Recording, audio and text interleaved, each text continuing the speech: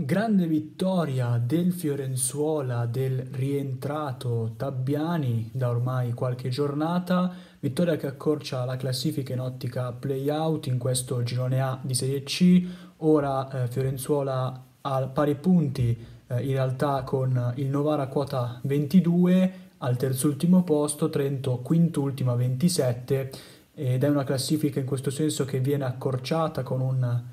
una vittoria esterna importante per un Fiorenzuola che tra l'altro ospiterà settimana prossima la Pro Vercelli,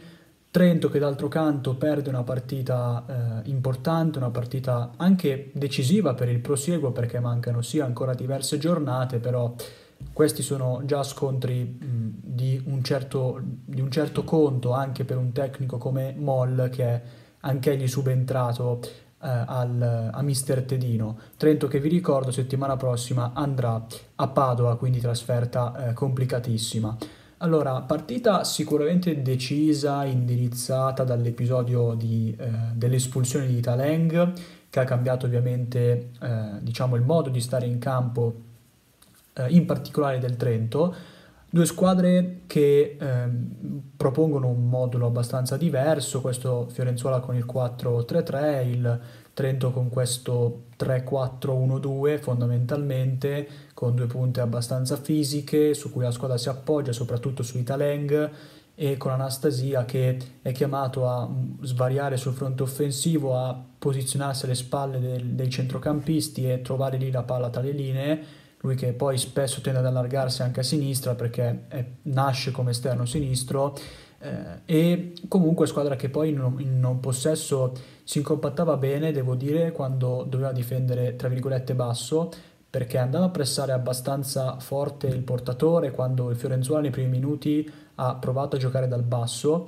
che è una caratteristica se vogliamo anche delle squadre di Tabbiani però questo Fiorenzuola ha dimostrato un po' di mh, limiti, se vogliamo, tecnici, almeno nella prima costruzione, il Trento andava a prenderlo eh, abbastanza alto, però poi di, di grandi palloni non li ha, eh, non li ha recuperati. Eh, ecco, Fiorenzuola che poi, ehm, diciamo, a sua volta è molto aggressivo, praticamente in tutte le zone di campo eh, gli avversari vengono aggrediti a uomo, e con buona intensità, quindi eh, è uscita fuori una partita con buoni ritmi dove comunque il Trento eh, poteva sfruttare meglio ecco, anche i cambi gioco perché effettivamente quando veniva cambiato gioco sull'esterno si creavano degli spazi importanti e potenziali uno contro uno anche perché poi per il Fiorenzuola non era facile ehm, scivolare con i difensori o comunque far rientrare in tempo eh, gli esterni offensivi. Detto questo, il Fiorenzuola che al contempo, come detto, prova a giocare la palla costruendo buone, dei buoni sviluppi, magari sulle catene, sulla sinistra dove ha spinto molto di più Maffei nel primo tempo, eh, quindi sovrapposizioni interne eh, o esterne. Nel secondo invece ha spinto molto di più Sussi dall'altra parte, devo dire mi è piaciuto molto, ma di questo parleremo poi. Quindi Fiorenzuola che sfrutta queste soluzioni, così come anche il lavoro di Ceravolo che eh, viene spesso a giocare spalla alla porta e che mm, fa un grande lavoro eh, a servizio della squadra. Come detto, primi minuti giocati a buoni ritmi, ehm, in cui comunque il Fiorenzuola cerca fin da subito di eh, diciamo, eh, impostare pa- il, il, gioco da dietro. Eh, con il tempo, meglio sicuramente il Fiorenzuola che esce bene eh, alla distanza, che mette in difficoltà anche il Trento con questi palloni alle spalle, perché in qualche situazione di palla scoperta il Trento non scappava con la linea difensiva ma restava abbastanza alto e questo poteva permettere agli attaccanti del Fiorenzuola di attaccare la profondità e infatti su qualche pallone eh, alle spalle della difesa in questa fase il Fiorenzuola ha trovato delle buone soluzioni producendo anche diversi angoli eh, grazie tra l'altro anche al lavoro di Mora, Mora che ha eh, grandi qualità tecniche oltre all'esperienza, giocatore che verticalizza spesso, palle dirette, eh, comunque scambi, è un giocatore molto importante. E um, un Trento che, ripeto, in questa fase si abbassa proprio per questo, per questo motivo, comunque lascia eh, abbastanza libera la prima costruzione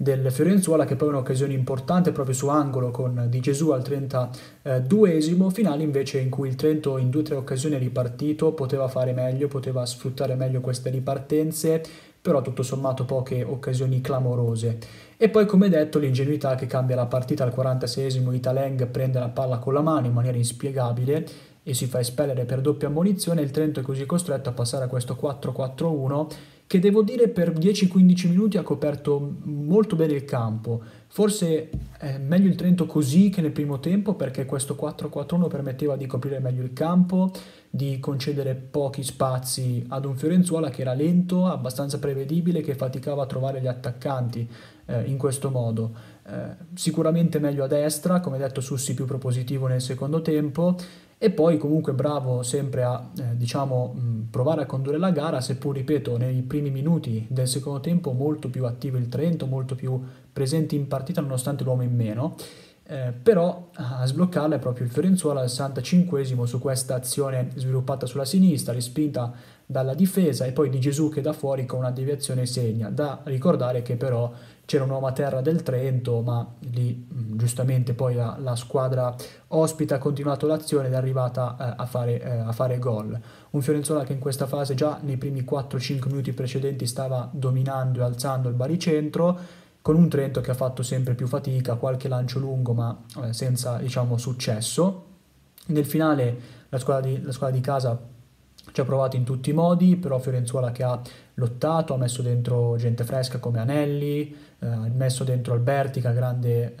doti diciamo di tenere palla, tanto che infatti la squadra l'ha cercato spesso e volentieri, eh, però devo dire che il Trento non, non ha mollato, ha avuto un'occasione con Anastasia molto importante e comunque ci ha provato fino alla fine, eh, anche su qualche calcio piazzato che poteva sfruttare meglio perché eh, sul secondo palo, secondo me, il Fiorenzuola, marcando anche a zona, ha lasciato spesso delle, degli spazi che potevano essere sfruttati molto meglio. E poi al 94esimo arriva questa, eh, questo gol che chiude la partita con un'ottima azione nata da Sussi che parte in progressione, si sviluppa ancora sulla sinistra e viene chiuso da Sec, lamenta giustamente il Trento per una palla che precedentemente era uscita perché in effetti